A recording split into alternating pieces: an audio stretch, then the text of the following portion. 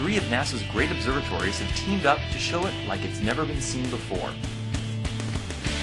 This is the hidden universe of the Spitzer Space Telescope, exploring the mysteries of infrared astronomy with your host, Dr. Robert Hurt. Sigmund Freud once protested that sometimes a cigar is just a cigar. However, astronomers studying the so-called cigar galaxy have discovered there's much more going on than meets the eye. That's why they've looked beyond just visible light to understand this galactic oddity. The Cigar Galaxy, more commonly known as M82, lies in the northern skies in the constellation of Ursa Major. It's about 12 million light years away. Not exactly a next door neighbor, but pretty close as galaxies go. And while it does look a bit like a cigar, it's actually shaped like a disc. We're just seeing it edge on. Our exploration starts with the Hubble Space Telescope. It celebrated its 16th anniversary by releasing a dramatic new image of M82. This picture reveals in extraordinary detail what we can see in visible light. Dark dust lanes block our view of the star-filled disk, and unusual filaments of hot hydrogen gas extend far above and below the disk.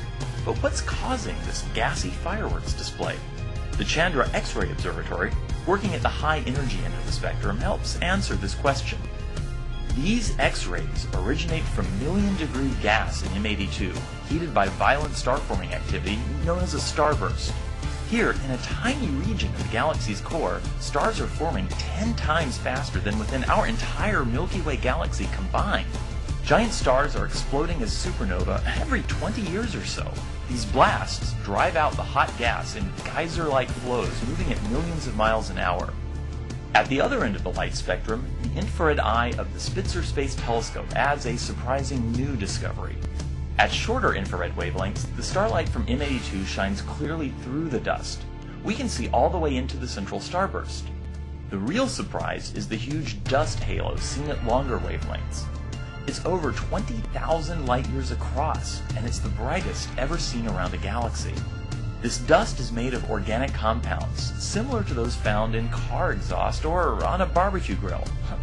The cigar is indeed smoking, and its smoke reveals the same elements that make up planets and even people may be escaping into intergalactic space along with the gas.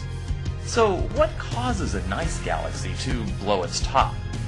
It may be due to a dust up with its neighbor. Not far from M82 is its companion galaxy, M81. It's pretty normal as galaxies go, with regular spiral arms.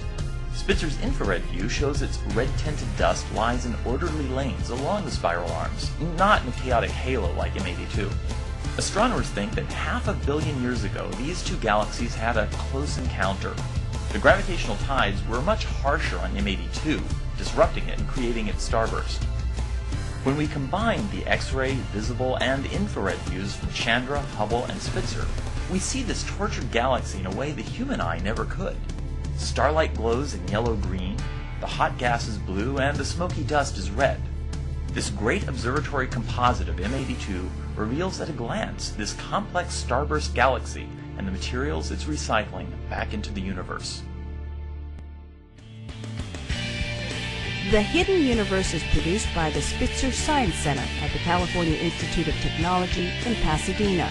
The Spitzer Space Telescope mission is managed by NASA's Jet Propulsion Laboratory.